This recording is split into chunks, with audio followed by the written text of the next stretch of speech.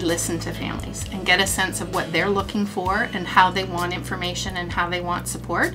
I think we all too often assume that we know the best way to support someone. Listen to them, listen to what they're looking for for their kids, and also encourage them to participate. And maybe ask them at times if they see a parent who's struggling with something to say, How can I help you? as opposed to telling them what to do, actually asking them how someone could help.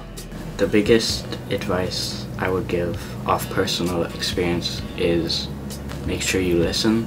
A lot of kids just need someone to listen to them. Be really open-minded and um, try to have thought of what a child's going through because um, I have friends who are going through some tough times right now. The wants and needs of when you guys were growing up are different compared to the wants and needs now. So it's like, like I said earlier, you're on the kids now are on the computer, on their phones, and stuff like that, and so that's what they want.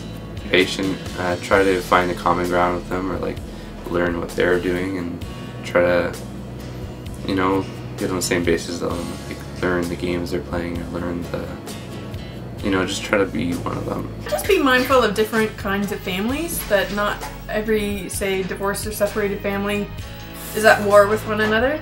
That um, that you know there can be friendships and partnerships that work that oftentimes don't sort of fit into a normal box that are actually pretty great for kids. I think for the people that are working with children, um, they make the biggest impact for people. So if you kind of know that going into doing um, what you'd like to do, like if you're a service provider, um, I think that you should do whatever makes you passionate because then it'll spread to everybody else and you'll find people like youth now that uh, you know have the same passion as you and you'll become so much more passionate and build a community and like you can live out a legacy almost like that because you can share what you like and share what you know to people who are willing and eager and like hungry to learn this information.